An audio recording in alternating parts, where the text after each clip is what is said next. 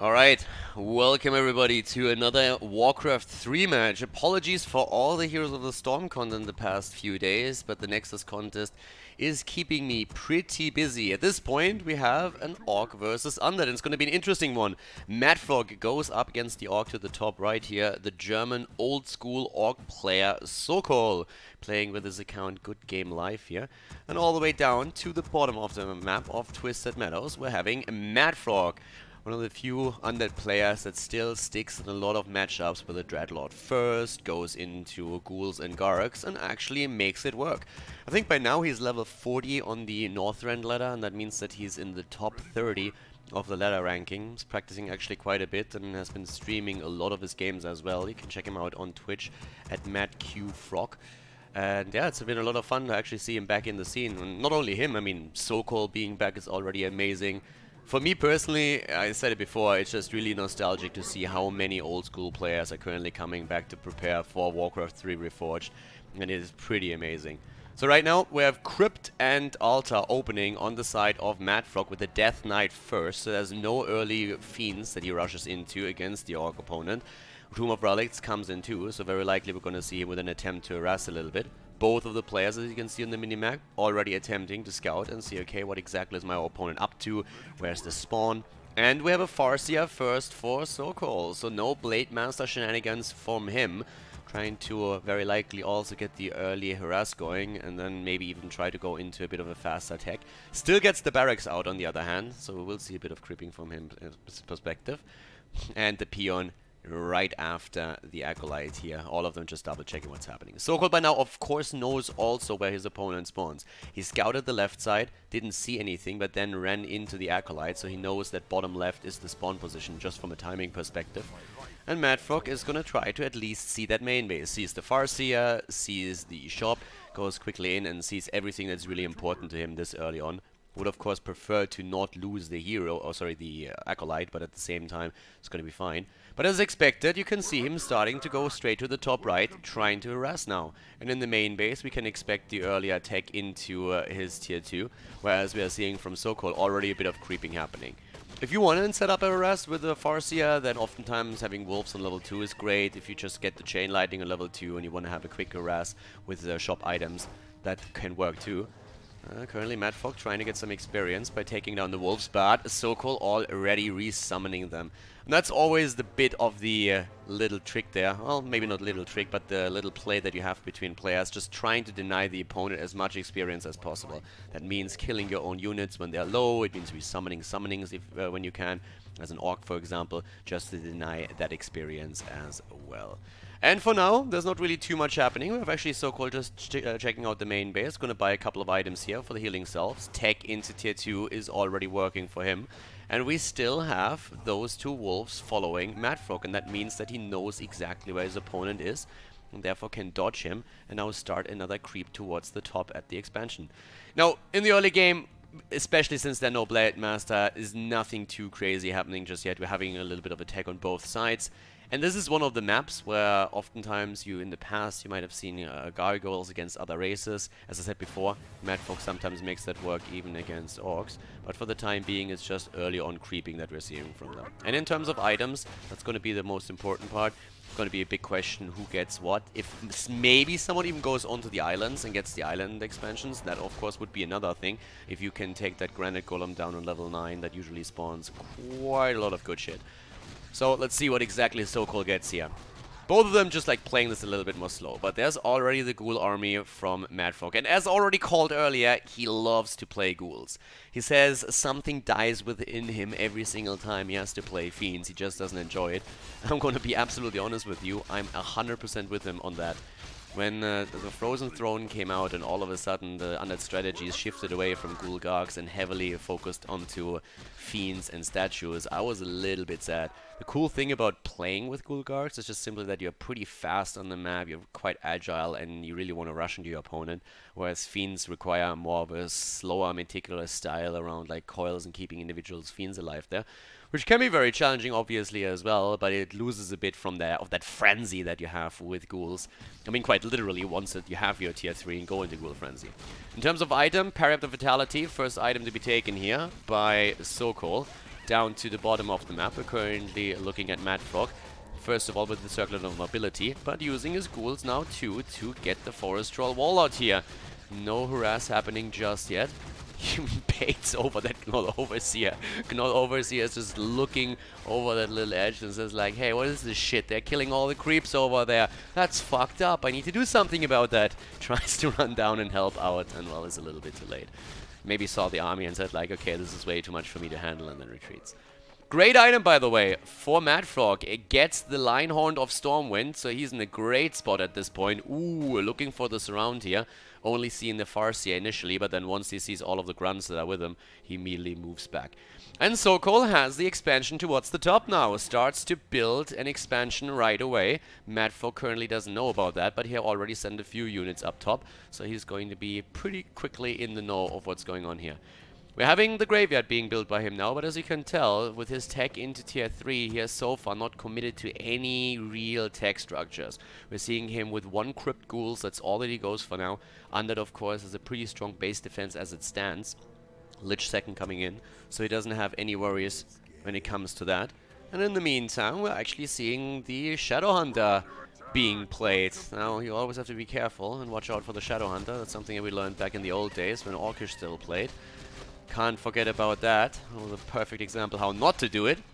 But in this game, I expect that Sokol is going to take a little bit more care about his second hero. That being said, that expansion towards the top should be finished in time for TP. It might actually be close, because Sokol completely missed that this army is rushing up top, and that might be a big problem for him.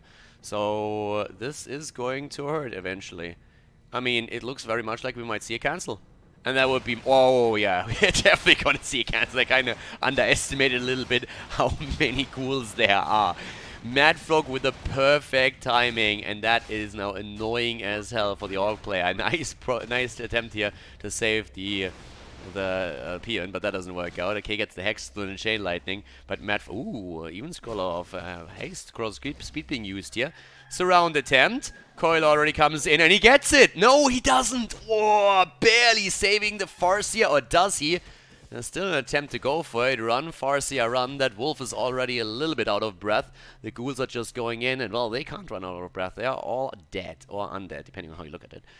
But yeah, surround attempt here without any kind of Dreadlord shenanigans, only using the aura. the Lich, on the other hand, would love to get close enough so they can get maybe a quick Nova through, but doesn't quite work out. Instead, actually didn't go for Nova on level 1, but instead we're seeing the Frost Armor here.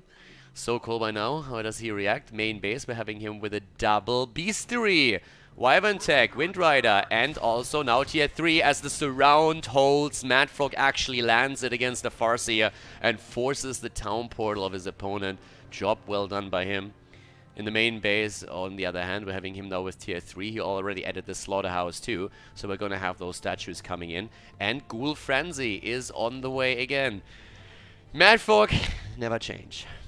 Straight into Ghoul Frenzy here. Ghouls, ghouls, ghouls. No upgrade. Oh, actually, they have a plus one attack upgrade already. Okay, fair enough. Same time, we're seeing now with the first few Wind Riders the attack over at the shop. Trying to get a few more items for himself now. Now, one of the big questions is, of course, definitely going to be how Mad Frog is going to react once that he sees the strategy. Are we going to see Fiends being added? Quite likely, considering how heavy he commits to his ghouls at this point. Uh, more gargoyles, I kind of doubt it, especially with Bat Riders being an option, so I wouldn't assume that that's going to be the case. If you look at the items, by the way, we have now double Claws of Attack plus 6. That's probably the moment where Sokol kind of regrets that he didn't go straight into a Blade Master. That would have been really nice damage that he would have been able to push out there. Oh god, did Madfrog just miss the uh, okay, the PNC here. Mad Frog actually moved in, moved out, and apparently has a patrol set up to check when exactly that base is being built. And he gets the peon again, so Sokol at this point probably going to be a little bit pissed. I mean, I would be. Ah, even the Pit Lord being played. And that's actually great if you're going up against something like Wind Riders. They stack quite nicely, and then if you get your damage reduction through, that's usually pretty solid. But yeah, Sokol must be pretty annoyed right now. He already had the expansion nearly completed, and then he got shut down by the ghoul attack that we saw from Mad Frog. Now he tries it again, and is immediately stopped there too. Builds a burrow once more. Wolf comes in, because Well, you have to get it out of the group. I won't be able to do anything. Apparently we're still stuck in the control group. But both of them, for the time being, just trying to creep a little bit and get the heroes higher. And that makes perfect sense for Madfrog in particular. And since he wants, of course, those high-level undead heroes. But it also makes a ton of sense for the Orc player, who's currently very interested in having some additional Wind Rider so that he can make those quick snipes against heroes. Potentially with a Hex setup. Hex the Death Knight, kill the Lich, something along those lines. And in terms of items, it doesn't really look too bad either. Sobi Mask, that's always amazing for Shadow Hunter here. Farseer alike, doesn't matter.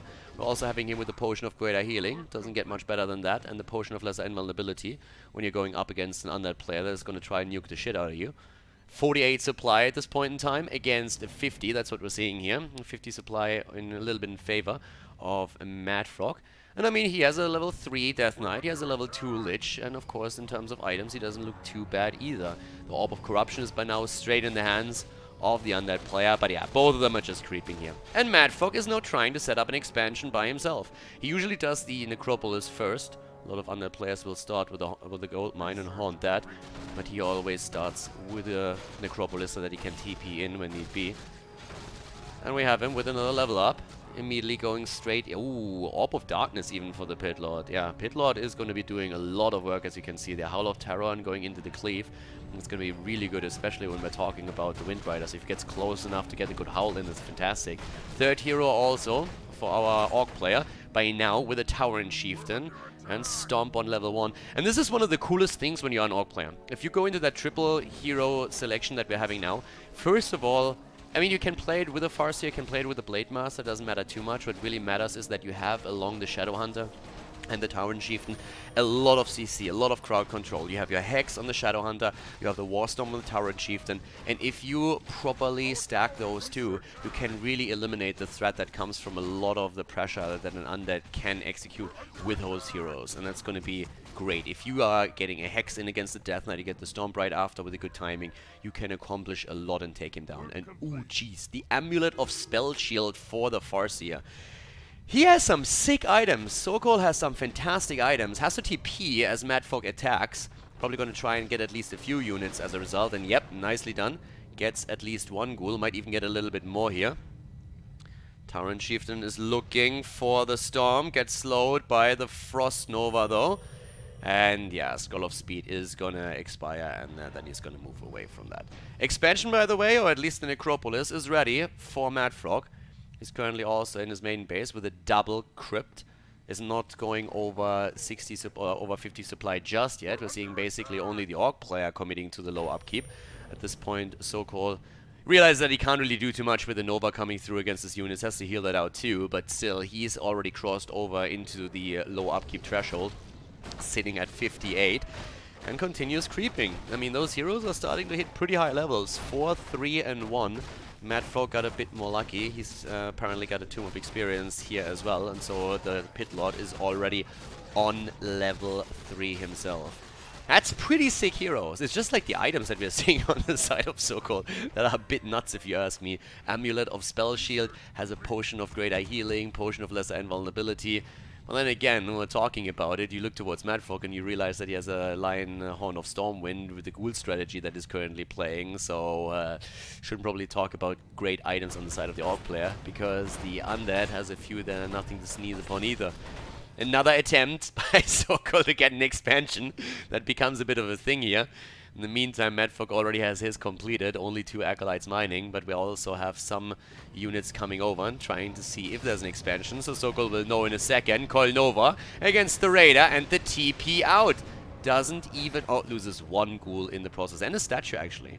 It's a good snipe, but you can already see the Howl of Terror doing a lot. Minus 15 damage at this point against the Wind Riders. That's pretty fantastic, and then it takes the it takes a little bit of the sting away, quite literally. I mean, uh, those Wind Riders are insanely powerful when they can focus on a single target, especially with the crowd control that I've been talking about earlier. So that's something that they have to avoid. 55 supply by now for Sokol still. Mad Frog has a lot more money, as you can see, 900 gold, 1000 gold now, simply because he has that expansion mining. And on top of it, another thing that he has is he did not cross over in the low upkeep until now. He just did that and is currently in his main base producing more and more ghouls. How do you counter Wind Riders? You get ghouls. or at least Mad Frog does. So he's going to try and rely only on his Lich and on the uh, the Pit Lord. Has an orb, obviously. Uh, going to try and take down those Wind Riders with uh, skills. And the rest is just hero pressure at the bot lane against uh, against the bottom of the map, against all those with all the ghouls already. Getting some pressure in. Keep the Amulet of Spell Shield in mind on the other hand, though. It is at this point going to be pretty helpful, but it's on the TC since he's very far out. So that's one thing to really consider here.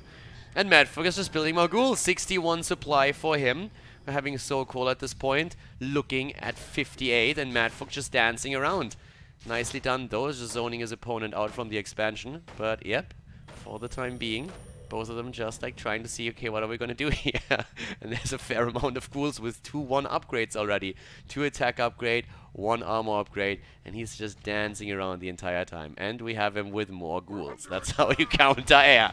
Goes in immediately, and here we go. The party is on, and immediately both of the heroes with orbs are starting to focus straight onto the Wind Riders. We're having also the ghouls just heavily, heavily pressuring those heroes in the back, especially, of course, the Farseer and the Shadow Hunter, but at least two Fiends in the army to get a few webs through and make sure that those ghouls are going to be useful. That's the ones that he has to keep alive for, of course. Another level up as the Shadow Hunter hits level 4 and immediately the focus onto the TC and he goes down. Level up for the Farseer, but the Tauren Chieftain is eliminated as we're seeing Madfrog with the scroll protection rattling in, trying to get a couple of more hits in. The Fiends in the backline not actually attacking those Wind Riders, need to web those, but they're completely zoned out. And in the meantime, the Howl of Terror is just completely negating most of the damage that we're seeing from the Wind Riders as they're focusing one ghoul after another. Surround attempt again against the Farseer, but Sokol micros it away. His own expansion at the top by now also up and running, but Madfrog here in this fight is still going full ham. 51 supply against 49 at this point in time.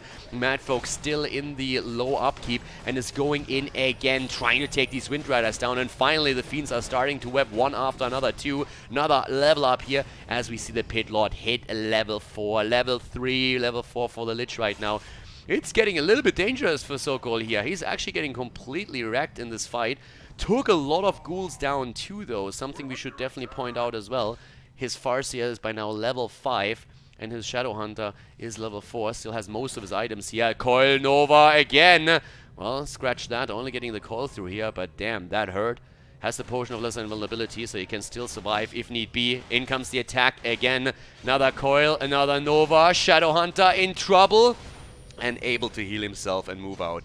But Madfrog now full on the offense, going straight in here. Expansion is mining, but only one PN in. And Madfrog could definitely try and take that down, though. Not even sure if he knows about it at this point in time. Farseer comes back out, and with all the AoE damage, all of a sudden the ghouls are not looking too healthy anymore either, especially with only a single statue being in. Oh, the TC! The cow is down again. Beef for dinner as Madfrog wants to have a little bit more food for the ghouls.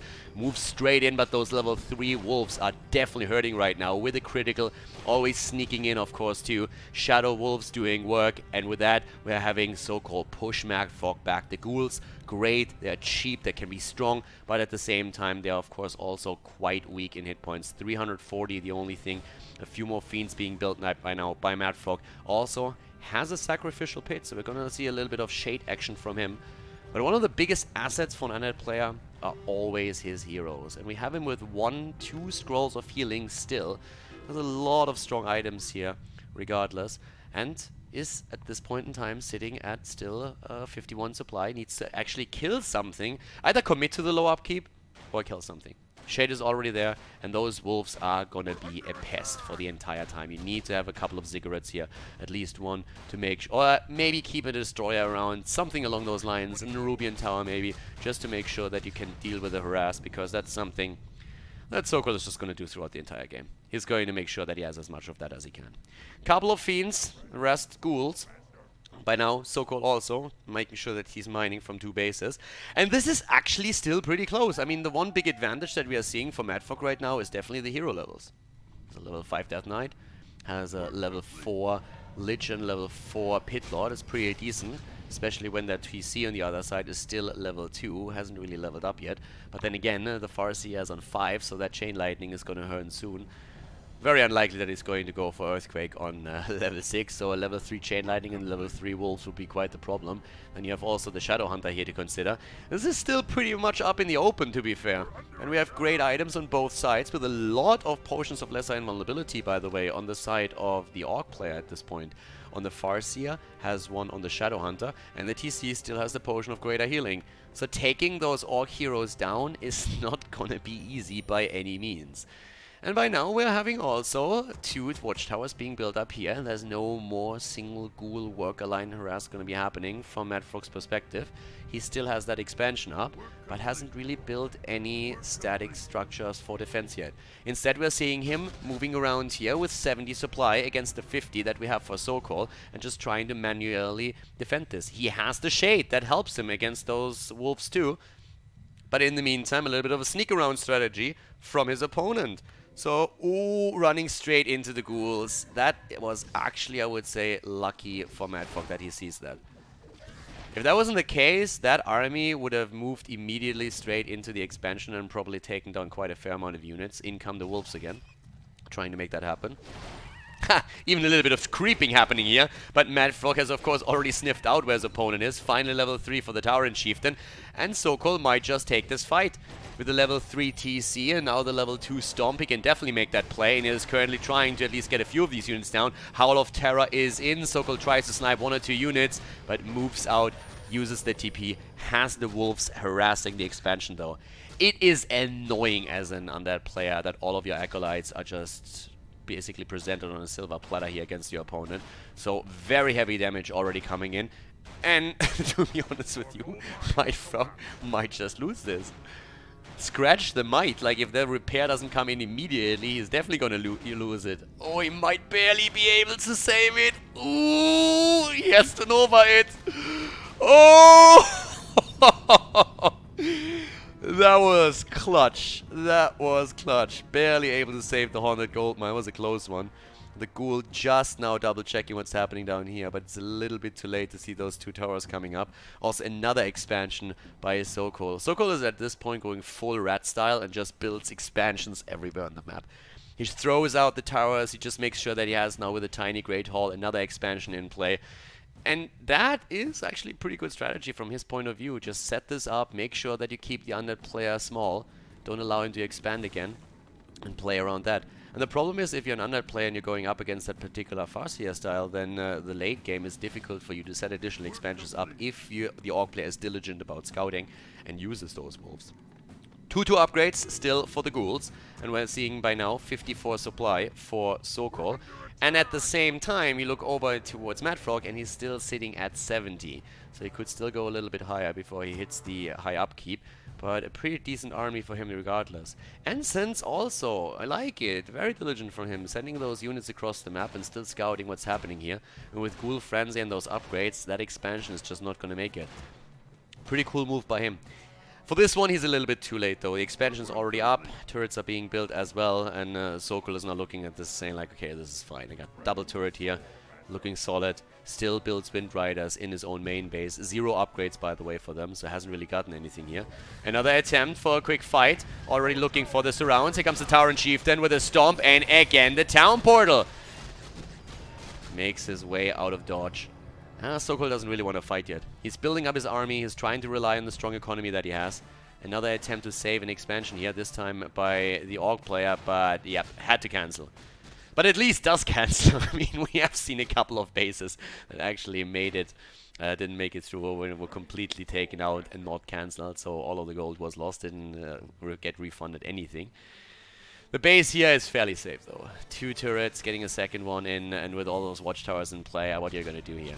Again, the attack by Madfrog, now sitting at 68 supply against the 58 that we have for Sokol. Upgrades for Madfrog by now 3 and 2. Ghouls got another one, and we're seeing them moving in. But here comes the all player. Madfrog is trying to push the agenda. He realizes that at some point he's going to run into a little bit of trouble. In the main base, there's no gold mine anymore, so he has only the one up to the top left, where Sokol is currently mining from two additional gold mines. That's pretty solid.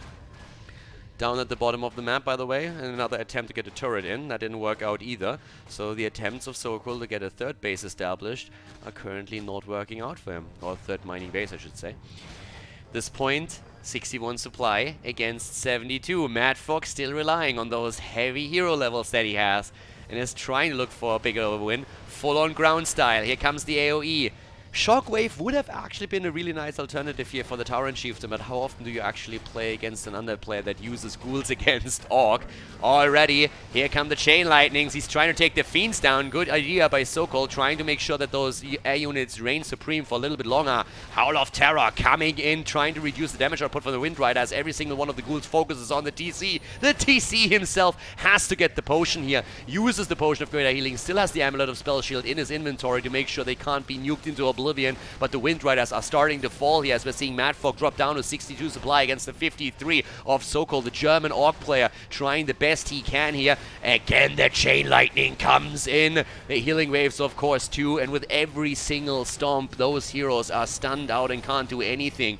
Wind Rider after Wind Rider is falling, but a fair amount is still in play, and without any destroyers whatsoever, those Wolves are doing so much damage right now too. Again, the pressure onto the Shadow Hunter and the TC. And the SH goes down. Nice kill by Mad Frog. Has already the Lich up on level 5. The Death Knight closing in on 6. We're even seeing the Pit Lord on level 5. And with those heavy nukes with the Coil and Nova on level 3, there's just no way to keep that Shadow Hunter uh, alive in that circumstance. So many potions of invulnerability already used and anything that the Orc throws against the undead player is currently without success. 57 supply against 36 and again Sokol says I need to stop him from mining. So he sends the wolves over to the left side of the map. There's only one Nerubian tower, that's all that he has, and Sokol is still mining from two bases. He's mining here, he's mining up at the top, and he's already starting to rebuild the pressure against the backline. Right now, another Wind Rider goes down. Sokol is at 32 supply at this point in time. He has the TC still in and is putting enormous pressure onto the Lich himself, but the Death Knight still has enough mana to get an easy level 3 call out, and that puts the Lich back to full HP. The Death Knight himself, on the other hand, needs to be a bit more careful because so those Chain Lightnings, they definitely hurt, as already mentioned before.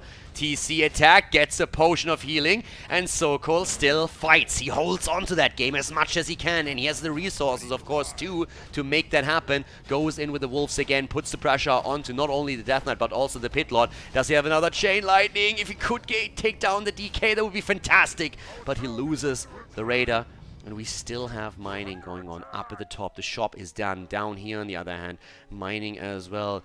And still, Madfrog not expanding again. Madfrog only relying on this one gold mine over here. And he has resources. He's sitting at 440 gold, but he goes to the shop and tries to buy himself a couple more items. Only a single statue for him, but those heroes levels are just out of this world at this point in time.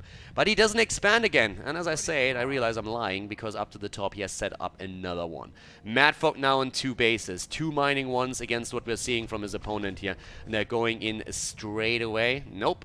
Sees the turrets and says like, alright, I can't really go into that. That's not going to work out. And Sokol has the time to rebuild his army. Sokol has been under so much pressure, I wouldn't really be surprised if he turns into a diamond at any moment. I mean, right now, he's looking at a level 5 Farseer, level 4 Shadowhunter. The TC still only level 3 and he's just trying to take these bases out. But in comes Madfrog, he keeps the pressure up, he goes straight into the main base again, tries to also take down those production buildings. Up here in every single one of those burrows to at least get some pressure out here. In comes Mad Frog into the main base, but already towards the expansion, we have Sokol trying to take this one down. Guess what's missing?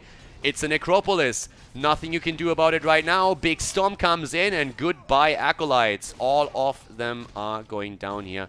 Even Andy the last remaining survivor here. Level 5 on the Shadow Hunter. Another great setup for him. And we're having now the main base basically completely destroyed. But Sokol has money! He still has money! And he's using it. He can just rebuild production structures. He can build and just get items. Already working on those Orc Burrows. Sending in a few more units down to the expansion to finally stop Madfrog completely from mining. That gold mine is not going to run out of gold anytime soon. Another base being built. Once again, Sokol is trying to set up another watchtower here. And this time Madfrog doesn't have any ghouls around. Madfrog is just trying to clean house right now. He's just saying, alright, let's take these bases down. Let's eliminate the tech. Let's make sure that he doesn't have enough uh, supply. But the expansion is suffering and Madfrog has to rebuild Acolytes at this point. And we are seeing the entire Orc army around. He can just go in for Chain Lightning does exactly that and takes down the Acolytes. One down, two down, and Madfrog is starting to have a bit of a problem here. He's looking at decent supply with the 65 that he owns against the 43 of Sokol. But when you look at the uh, position on the map, the economy is not really that good for Madfrog at all. It's fantastic still for Sokol, but of course he doesn't have enough tech structures. Again, the attempt to take down the Necropolis itself, trying to shut down the entire base as quickly as he can. And he's doing well with that. No more TPs for Madfrog. Gets the Ziggurat as well. And he's trying to snipe the gold mine and should be able to pull that off, to be honest with you. TPing out maybe a little bit early, but the Potion of Lesser Invulnerability saves the Shadow Hunter. The base, on the other hand, is still in play too. And the first Acolyte is making its way over for the repairs.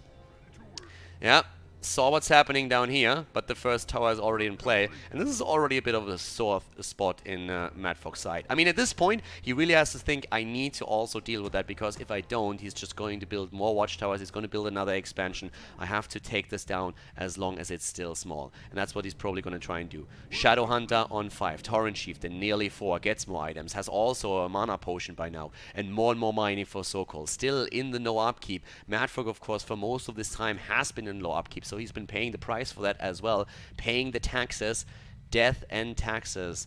The only thing that he can be certain of. And to the left side, again, the attempt to take down the base completely. But even if it doesn't, there's not going to be any mining for Mad Frog. Madfrog. Madfrog is still looking at those 64 supply, and he might have a shit ton of wood, but he just doesn't have a whole lot when it comes to his gold and the income. And eventually, he might not even be able to build acolytes. So right now, the attack here towards the back, by the way, as mentioned before, look at that. Another structure being built, trying to save the Pio now by building a burrow. Sokol is playing it smart. He's playing it incredibly smart, and he is just absolutely starving Madfrog from resources. But those heroes are still a problem. I mean, Madfrog has insane heroes now. Three Coil, three Nova, and he has also, of course, the Howl of Terror on level 3 on top of that. It's a tricky game. It's an insane game. It's honestly crazy. What Madfrog can still do is unsummon a couple of structures in the main base. That's definitely still an option for him. And he has still some mining going here, but I mean, it's a single Acolyte, and Sokol is going to send soon enough some additional Wolves over.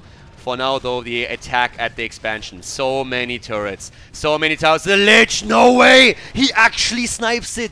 The Lich goes down. Another level up for the Death Knight, but it's too late and we have a level 6 on the Farseer as well. That Chain Lightning will be 3 any second and that's going to hurt. It's going to hurt a lot already. We're seeing Madfrog pressing in again right into the turret range. Gets at least the radar eliminated, but it alone doesn't really help him here. 2,900 gold at this point in time for Sokol. The German Orc player is doing fantastic in this late game on Twisted Meadows. Again, the attempt to take down the Raiders at least, but that level 3 healing wave is rattling through the army and keeps everything alive that Madfrog tries to eliminate. Once again, we're having another storm coming through. The healing wave. That Tauren Chieftain is not going to die anytime soon, or is he? Tries to stay alive here, heavily surrounded. Madfrog wants the kill. He's greeting for the kill, and he might actually get it. Another healing wave, but here comes the final blow, and the TC... No, way! No, what? The TC gets away! No, he doesn't. 11 hit points, but falls in the end. The counter kill, as we're seeing Sokol with 3,800 gold. You gotta be shitting me. What do you want to do? You want to open a Swiss bank account or what's going on here? He needs to build some structures to build stuff, heavily reliant instead onto heroes and items. Which is a fair approach too, but he definitely needs something to get rid of all that gold. 4,100 right now. He has so much stuff. Two heroes, that's all that we're seeing at this point in time for Sokol. Another quick coil to drop that radar in the back, but the Fiend falls as a result. 39 supply for Sokol, 25 for Madfrog. Madfrog incredibly low now. But then again, let's face it, this late into the game, you're going to rely as an undead player on your heroes anyways, and that's exactly what he does. A 6 Lich, the Pit Lord on level 5. We could see an ultimate from the Pit Lord here. We could actually see that happen in this game. I mean, that Lich, if he wouldn't have fallen, if Sokol wouldn't have done such a great job of locking him down and taking him apart, might have been level 6 by now already. And we have now the Chain Lightning on 3 for the Farseer, the Wolves on 3. This game is getting nuts, and look at that. Finally, double barracks being built here on the side of Sokol. Can just get his entire tech back up. Should still have a peon down here somewhere, but the problem is he doesn't have a lot of wood.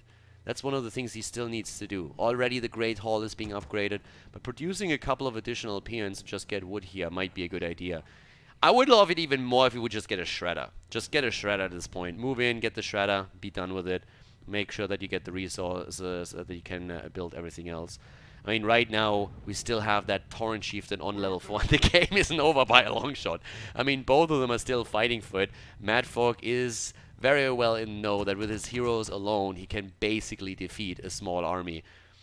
I mean, that Death Knight, we still have that extra aura also. The Lion of Stormwind is great, and the Death Knight, of course, has now the aura on 3, has the coil on 3. Just the regeneration and the speed through the aura alone allows him to go for a hit and run style the entire game. This late in the game, units don't play as much of a role anymore, especially since at this point in time Sokol can only rely on tier 1 units. He's still trying to get the stronghold back in so that he can play around that, but things are looking a bit more difficult for him. I love this on the other hand, the attempt to attack with the Wind Riders, but he just doesn't see those Fiends coming in time. And then we have that little move right here. Could go old school, to be honest. Could just go here, research Burrow, and have one Fiend or two Fiends Burrow right here. And whenever those Wind Riders come in, you just use that and immediately take them down to kill them. Already a war mill being built down here. So Sokol is slowly and steadily taking control of this game. But what an, what an insane game. I mean, this series has been nuts so far. 6 Farseer. We have the Shadow Hunter nearly level 6 as well. I would love to see Big Bad Voodoo come in at one point. I highly doubt that's going to be the case. Even if he hits level 6, you're going to go into that Hex on level 3. But it would just be absolutely fantastic to see that work out for them. The base down to the bottom right, by the way. Now Stronghold is done, so you can go into additional attack. And with Mad Madfrog, we now have his Lich back to business as well, and that's one of the main things he was waiting for the entire time. Still no base over here, so doesn't have that. No one, by the way, ever moved into uh, one onto one of the islands. And even more scouting happening from Sokol. From Sokol's perspective, the one thing that he has to make sure of is don't allow him to expand again.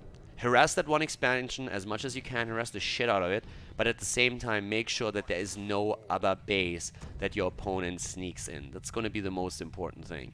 And so far Sokol is doing well with that. And you look at his gold and he has 4,300. His biggest problem was really first the lack of tech the entire time, the lack of wood and also the lack of production structures after his main base got taken out. So he had to be really careful here. And there's like two grunts I don't even know, yeah, I don't even know why Sokol turns around here. He should just like say, okay, fuck it, I'm going in and I'm going to take down that expansion, just snipe it. Even if he just drops the gold mine, that alone would already be enough. And he's already moving in. Get the Acolytes here too, level 3 Chain Lightning, there it is. The repair of Madfrog is already on, but that's going to be a snipe. And yep, you might not e be able to build too many units because you don't have the wood, but you can be paid uh, by town portals as many as you want. Farseer Tauren Chieftain and Shadowhunter uh, with the little army that he had. Take down the gold mine and he TPs out. Bottom right, another base being built. Sokol is in such a fantastic spot right now.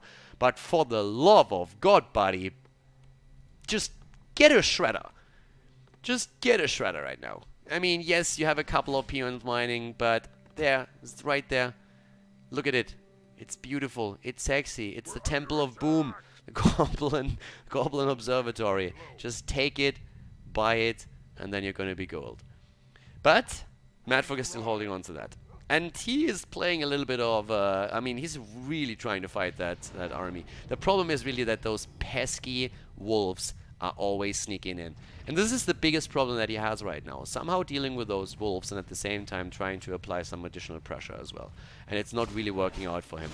He's trying to take them down again, always having the shades with them just to see those wolves the entire time. Here comes the storm once more. We're seeing the Death Knight with a potential snipe. Uh, doesn't use the coil for the Wind Rider. Instead, it's the statue actually that gets focused down by Sokol. Well done. Take the sustain away from the Undead. Here comes the Hex. He's trying to go for the Lich. The Stomp is hitting. It's hitting hard, and that's the kill. The CC coming through for Sokol. Perfect play by him, and that should be game even. With the Lich already down, now the Pit Lord is being surrounded too, and he can again use Hex, use the Stomp. He will do both, and that's gonna be the Pit Pit Lord eliminated, has a potion of invulnerability, lose, uses that barely, gets level 6, but again, at this point in time, it looks pretty much lost. There's the ensnare, immediately goes in with the entangle, and that is just a little bit too much. Down goes the Death Knight. What a game, and Sokol with a victory here in the end. The Doom Guard comes through, but that's not going to be making any difference. Death Knight dead.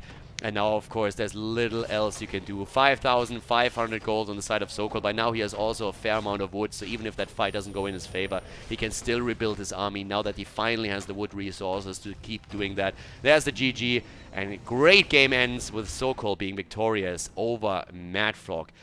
Good job, and well done. Good game to come back into Warcraft 3 right now. I hope that you guys enjoyed the match, and if you did, make sure that you hit that sub button. I'm going to see you soon for more Warcraft 3 content. Have a good one. Bye-bye.